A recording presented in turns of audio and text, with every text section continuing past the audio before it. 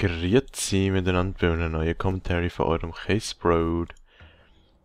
Ähm, ja, so Leute, Commentary Tag und ganz ehrlich, ich wollte heute wirklich eigentlich so ein Battlefield ähm, oder ein Call of Duty Gameplay bringen. Allerdings ist da letztens was ganz Geiles passiert, wo mir auch ein super Thema zu eingefallen ist. Und deshalb muss ich jetzt einfach das nehmen. Und zwar seht ihr hier Dota 2 ich sag mal, Konkurrent zu LOL. Ähm, wer meinen 500 Abos gesehen hat, wird das wissen. Ich mag Dota lieber wie LOL.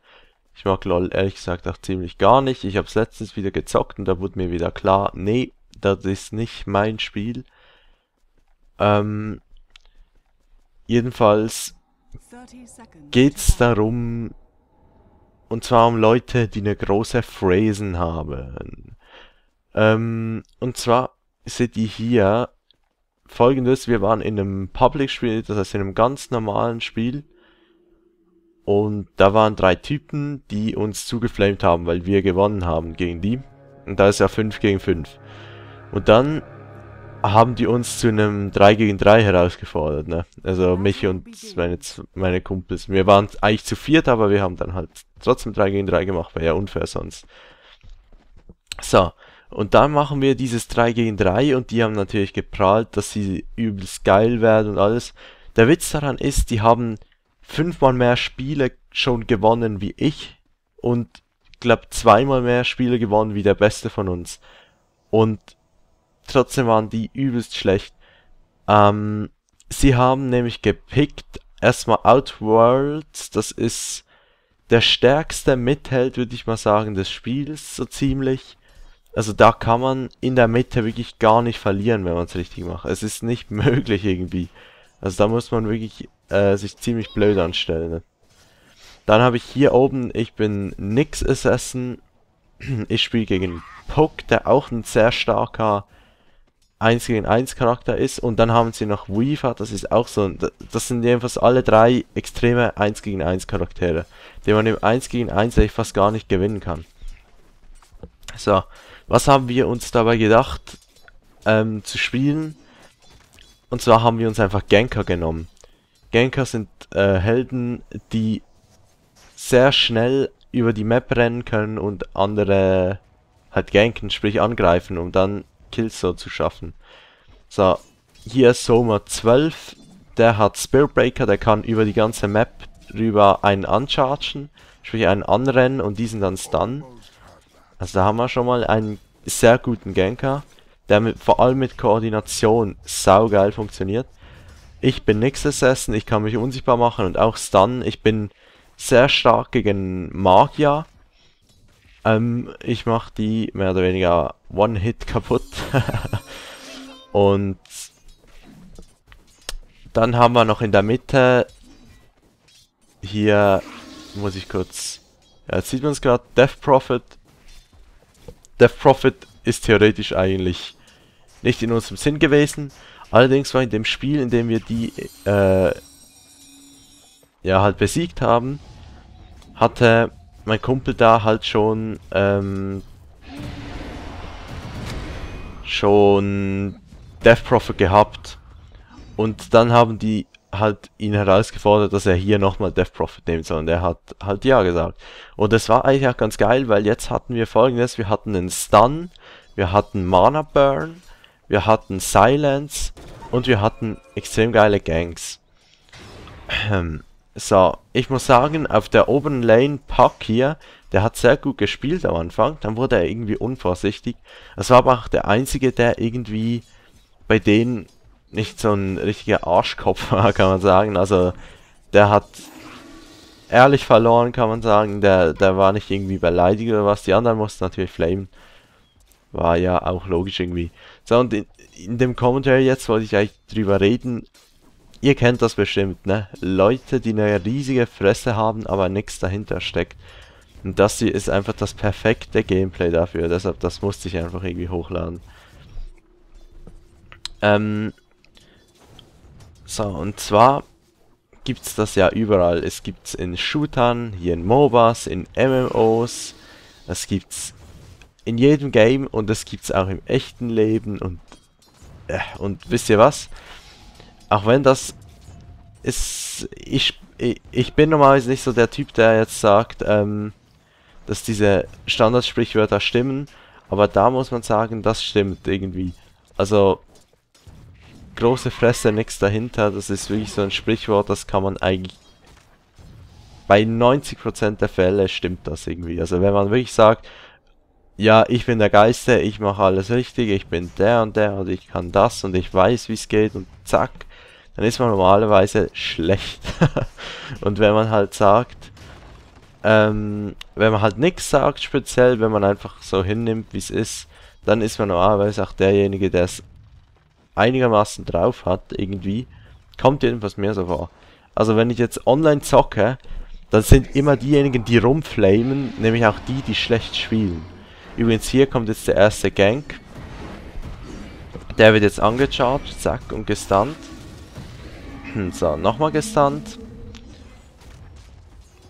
Und ich weiß gar nicht, ob sie ihn kriegen. Nee, sieht nicht so aus. Leider nicht. Aber trotzdem war das jetzt mal so ein bisschen, um zu zeigen, wie das Ganze bei uns gelaufen ist und es funktioniert. Also jetzt am Anfang, das war jetzt ein bisschen verkackt, aber es funktioniert. Wir haben am Schluss ziemlich mit großem Vorsprung gewonnen. So, und der chargt jetzt äh, gleich mal den unteren noch an.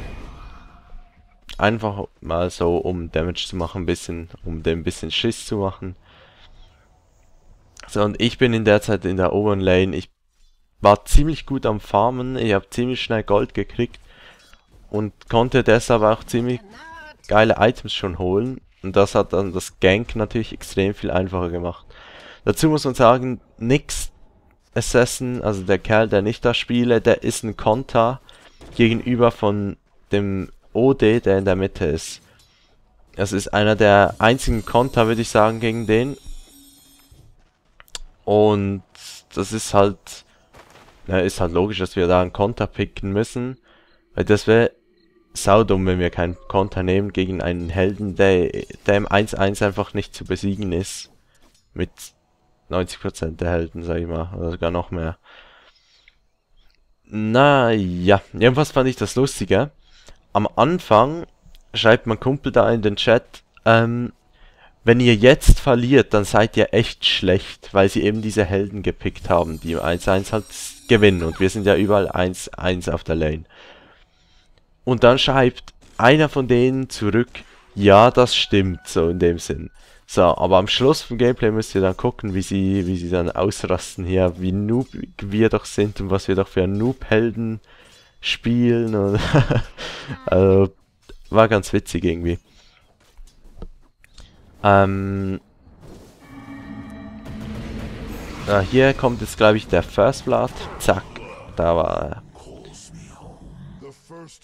So, lol, schon mal in den Chat gekloppt. Egal, ähm, jedenfalls... What a kid. Ähm, jedenfalls geht hier das Geflame schon mal los. Aber was ich eigentlich ähm, noch sagen wollte, Dota 2 ist jetzt Free-to-Play. Also, ähm, ähm, ähm, ähm, man kann sich jetzt anmelden für Dota 2 und dann verschicken die einen Cater B, ja klar, Beta Key, einfach mit, ähm, mit ein bisschen Verzögerung. Also die machen so, damit die Server nicht überlastet sind, suchen sich die immer irgendwie 20.000 Leute aus oder so, geben den Key. Dann gucken sie, dass die Server darauf stabil laufen, dann geben sie den nächsten ähm, 20.000, so in dem Sinn. Damit halt das Spiel nicht plötzlich überlastet ist wie nix. Ähm, und das heißt für euch, wenn ihr euch anmelden würdet, kann es sein, dass es ein bisschen dauert, aber ihr könnt theoretisch gratis spielen. Und was ich eben das Geile an Dota finde, vergleichsweise zum Beispiel zu LOL, es ist alles gratis, außer ähm, Aussehen. Also man hat von Anfang an alle Helden, kann man sagen. Es ist nicht so, als ob man sich einen Held jetzt freikaufen muss, wie das in LoL ist. Oder wie es auch in vielen anderen Spielen ist. Es ist einfach so, man geht ins Spiel, hat die Heldenauswahl, man wählt sich einen Held und spielt und fertig. Klar ist das Spiel ganz eigentlich relativ schwierig zu lernen, allerdings haben sie jetzt ein paar Tutorials eingefügt, wo man ein bisschen ins Spiel reinkommt. Ähm, was ich empfehlen kann für diejenigen, die das vielleicht mal ein bisschen lernen wollen, sucht euch ähm, im Internet ein paar Dota-Channels raus, zum Beispiel Purge Gamers ist so ein ganz, ist ein ziemlich guter Spieler. Hm, hier übrigens jetzt der nächste Gank. So, ich mache mich unsichtbar und renne in die Richtung von dem. Und der hat's gecheckt ah, und rennt zurück, aber wir gehen trotzdem weiter drauf. Zack. Er stunt ihn. Ich stun ihn. Dead. Hm, das war halt unsere Strategie hier. Einfach schnelle Charaktere nehmen, die gut ganken können und zu Tode stunnen eigentlich. Und das war halt jetzt hier auch wirklich unser Vorteil, weil keiner der Gegner wirklich eine äh, Leben hat. Das waren alles Squishies. Im Gegensatz zu uns hatten wir einen mehr oder weniger tanky Charakter und ich kann mit einer meiner Fähigkeiten gegen den Gegner relativ gut mich relativ gut wehren eigentlich. So, und jetzt geht's halt los mit dem Rumgerennen auf der Map und dem Gekill auf der Map. So, hier war ich ein bisschen bedrängt. Hm, die wollten mich jetzt hier auch zu zweit killen. Aber ich lasse mich hier doch nicht verarschen, also einfach hier erstmal Schutz angemacht. So, jetzt bin ich hier gesilenced und dann, zack, mache ich mich unsichtbar. Habe ich einen Cooldown gekriegt. So, jetzt gleich in die Offensive starten hier. Angesprintet. Zack. Auto-Attack. Und da kann er, glaube ich, ich weiß gar nicht mehr, ob er abhauen kann. Wahrscheinlich schon. Aber ist egal, wir haben dem jetzt so viel Energie abgezogen, dass er wahrscheinlich zurück muss. Und das ist halt ein enormer EP-Verlust, der er da hat, weil ich kann jetzt weiterhin farmen hier auf der Lane. Er kann das nicht, er muss zurück. Ähm, also so haben wir das Spiel relativ schnell in den Griff gekriegt eigentlich. Äh, wie gesagt, um das Spiel zu lernen, Purge Gamers ist etwas, was ich empfehlen kann. Das ist ein englischer Kommentator, aber der spielt halt Dota, nicht irgendwie Call of Duty oder so. Und der ist echt gut. Der kann mit, ja, ich sag mal, 70% der Helden wirklich gut umgehen. Und wenn nicht sogar noch mehr. Und der ist wirklich extrem gut zum Lernen. Der erklärt auch, was er sich immer denkt bei den Taktiken und allem. Also bei dem kann man wirklich gut das Spiel ein bisschen so sich ein bisschen was abgucken, sag ich mal. Ähm, da gibt es zum Beispiel Dota Cinema, das ist so ein Channel, wo auch zum Beispiel Sachen draufgeladen werden wie Fails, die einem, die, die sie dem Channel zuschicken, wie jemand extrem gefailt hat oder zum Beispiel extrem coole Kills oder so. Kann man sich da auch angucken, ist also auch ein bisschen zur Unterhaltung. Allerdings ähm, kann man da auch Guides angucken von einzelnen Helden und auch vom Spiel allgemein. Also es gibt mittlerweile wirklich genug Möglichkeiten, Dota zu lernen. Es ist schwieriger wie LoL. Es ist auch nicht so einsteigerfreundlich. Aber es ist an sich taktischer und es hat mehr Möglichkeiten. Und auch wenn ihr jetzt irgendwelche LoL-Spieler seid, es ist einfach so. Es, das soll kein LoL-Hate sein. Ich habe LoL eine wirklich auch eine lange Zeit mehr gespielt wie Dota und auch eine lange Zeit sehr gern gespielt und ich weiß, wie es ungefähr abläuft. Es ist nicht so, dass ich jetzt sage, LOL ist schlechter wie Dota. Es ist einfach nicht so umfangreich im Gekämpfe drin selber. Wenn ihr versteht, was ich meine. Also es ist nicht so, zum Beispiel in LOL, da gibt es nicht großartig Taktiken, was den Jungle angeht. Zum Beispiel hier gibt es Taktiken wie, ähm, ich nenne jetzt mal ein paar Begriffe, Stacken, Pullen, ähm, Ancient Stacken ist zwar mehr oder weniger das ähnliche. Egal, jedenfalls solche Begriffe, die kennen LoL-Spieler nicht, weil es da schlichtweg das nicht gibt. Das ist Jungle Creeps wegziehen von ihrem Camp und dann spawnen da neue Jungle Creeps. Dann sind da quasi zweimal die Jungle Creeps dabei.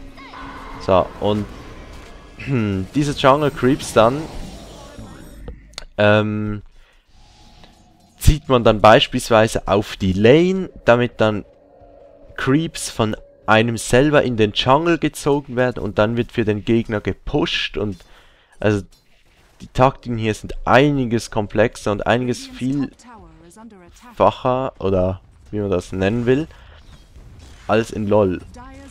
Und das muss nichts Schlechtes sein. Ähm, der Vorteil an LoL ist halt, es ist irgendwie so ein bisschen lockerer, es ist ein bisschen einfacher zu spielen. Das heißt nicht, dass ich jetzt damit sagen will, dass LoL für Noobs ist, ne? Also, mir persönlich gefällt Dota einfach besser, weil es mehr Taktiken gibt, so. Und wie gesagt, das, das ist einfach so, das kann man nicht wirklich leugnen. Das ist wie wenn man jetzt sagt, ähm, ich spiele Battlefield 3 lieber, weil das hat größere Maps wie Call of Duty. Das kann man auch nicht leugnen, das ist einfach so. Das heißt nicht, dass Call of Duty schlechter ist. Das ist einfach Geschmackssache, ne? Das ist etwas, das auch ein Call of Duty Spieler nicht sagen kann, dass quasi die COD-Maps größer wären. Also das sind einfach so ein bisschen Tatsachen. Ähm, was ich als Erfahrung gemacht habe, viele LoL-Spieler, die Dota ausprobiert hatten, da war es dann immer folgendes. Ähm, die haben dann gesagt, bei den Helden, die ich persönlich ziemlich, ziemlich schwach fand, haben sie gemeint, es wäre ein OP-Held quasi. Und das fand ich immer ganz witzig eigentlich. Was habe ich denn da eigentlich gemacht? Na egal. Ähm, also zum Beispiel gibt es einen Held, der hat extrem wenig Energie, der heißt Sniper. Der hat wirklich gar keine Energie, der ist so schnell down. Also wenn hier so einer von uns den äh, stunt, den gankt, dann ist er eigentlich kaputt. Und der hat aber als Passivfähigkeit, dass er extrem weit schießen kann. Also er hat eine extrem hohe Reichweite, deshalb heißt er halt auch Sniper. Und letztens habe ich eben mit einem gezockt, der sonst LOL spielt und der hat halt gedacht, der wäre OP, der Sniper. Aber an sich ist das eigentlich einer der schlechtesten Helden, weil außer Auto-Attacks kann er gar nicht viel machen. Und wie gesagt, er ist extrem squishy, also wenn der gegankt wird, dann ist er dead. Ähm, jedenfalls... Ja, was kann ich noch dazu sagen? Es ist immer relativ schwierig, so 20 Minuten Gameplays durchzukommentieren, jedenfalls wenn man von einem Spiel labert, das relativ kompliziert ist und da muss man dann immer eine Menge erklären, irgendwie, damit diejenigen auch verstehen, die das Spiel nicht so kennen. Ähm, ist ja egal. Ähm, dann kam mir noch was in den Sinn. Äh, ich weiß nicht, ob ihr Fußball begeistert seid. Ich bin's nicht. Also wenn da irgendwie WM läuft, dann gucke ich da mal, wo die Schweiz so steht. Aber ansonsten Ne, also ich bin nicht so der Fußball-Fan, ich finde das auch nicht so interessant, das zuzuschauen.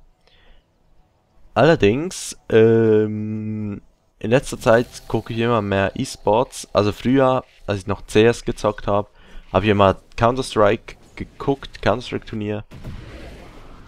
Jetzt mittlerweile ähm, war ja letztens die Dota-Weltmeisterschaft. Habe ich das so ein bisschen mitverfolgt und ich muss sagen, das ist für mich irgendwie das Fußball. also, das ist echt geil. Vor allem, wenn da dann irgendwas Geiles passiert, dann, dann checkt man auch, was passiert ist. Und im Fußball kapiere ich das gar nicht irgendwie. Ähm, nimm, nimm, nimm. Deshalb, mich würde mal interessieren, ob jemand von euch auch E-Sports-mäßig Sachen guckt und wenn ja, was? Letztens hatte ich eine Diskussion mit jemandem in den Kommentaren, also nicht bei mir, bei einem anderen Video, von Black Ops 2, ähm, dass das ja E-Sports mäßig unterstützt. Aber ganz ehrlich, Black Ops 2 ist kein E-Sports-Spiel. Also in meinen Augen nicht, das ist viel zu random. Und es gibt ja da diesen Ranglisten-Modus, aber da ist nichts gebannt, kein, äh, da, ja, wie kann ich das erklären? In, in der ESL, zum Beispiel bei MW3 habe ich eine Zeit lang ESL gespielt, da war folgendes, man hatte keine Perks und ja, ich würde sagen, mindestens so 70-80% von allen Sachen waren gebannt. Also man konnte da wirklich nur einzelne Sachen nehmen. Ähm, und in Black Ops 2, in diesem Ranglistenspiel, das ist halt wie wenn man Pla wie wenn man Public spielt. Ähm, einfach halt, dass man dann in eine Rangliste geworfen wird. Also, eben der Kerl da, der hat halt gemeint, dass er jetzt Hoffnungen hat, dass Call of Duty Ghosts mehr in E-Sports Richtung geht. Und da habe ich halt gesagt, nee, da kannst du leider vergessen. Was heißt leider? Also ich nehme mal an, das kann man vergessen, weil es tut mir leid für die Call of Duty Spieler, aber COD ist irgendwie einfach kein E-Sport-Spiel. Also es ist zu wenig. Das ist einfach irgendwie nicht so. Suchen und zerstören, das kann man E-Sports-mäßig spielen, aber dann ohne Killstreaks und wie gesagt ohne Perks. Mindestens. Und ich würde auch sagen, ohne gewisse Waffen. Aber einfach das Standardspiel, das ist doch irgendwie das, keine Ahnung, das funktioniert einfach nicht in meinen Augen. Also es ist wie Battlefield 3 oder so. Es funktioniert in meinen Augen auch nicht richtig als E-Sports-Spiel. Klar, es gibt auch, es hat ja auch Turniere gegeben und alles.